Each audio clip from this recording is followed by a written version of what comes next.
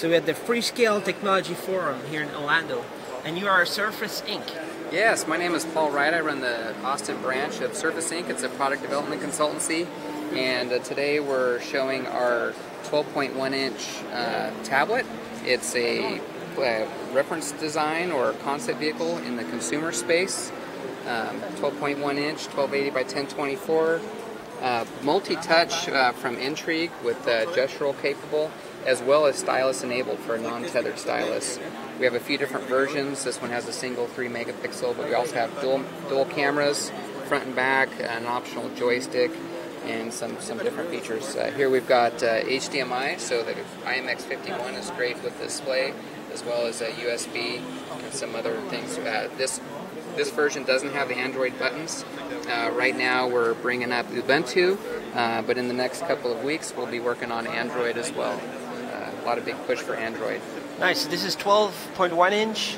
12.1 inch. Uh, capacitive and stylus. Yes, multi-touch capacitive and stylus. So for me, I think that uh, we look at different usage models. There's going to be a lot of uh, pen and touch uh, that people want to do for college notes and different things. So we really believe in the stylus. Nice. And you will have different sizes? Uh, yeah, so this is a 12.1. Uh, I'm eager to start on a 7 inch uh, when we can do that with our, our partners N-trig. And also, uh, we have a concept design for an 8.9 that we collaborated on with Freescale.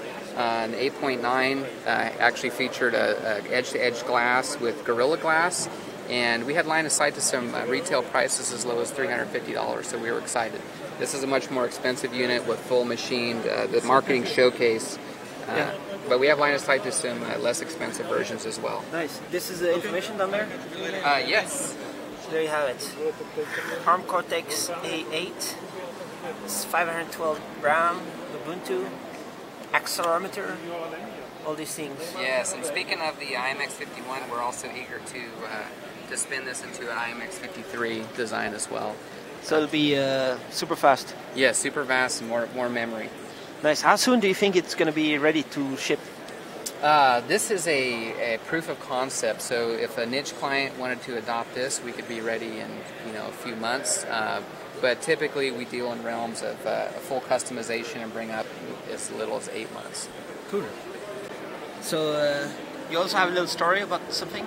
Yeah, what I wanted to go into was, uh, you know, late last year there was a lot of rumors of uh, tablets and the, the fabled iPad was out there, and we had a lot of clients that were really interested in tablets and slates, but really didn't know what they would what they would evolve to be. So uh, our clients are typically ID folks and strategists and people really passionate about the products, wanted ARM-based and instant on, um, thin and light, low power, all-day battery life. Uh, so, so we couldn't actually get them to get started on these internal products. So we did their, this on our own because we knew that a lot of the Windows and Intel uh, uh, products that would be coming out would be less desirable. So that's how we ended up doing the ARM uh, product as a reference designer, or point of departure for our clients. Nice. The idea is that it'll run much longer battery. It's going to be cheaper and it's thinner and lighter. Thin, exactly. Right. Good.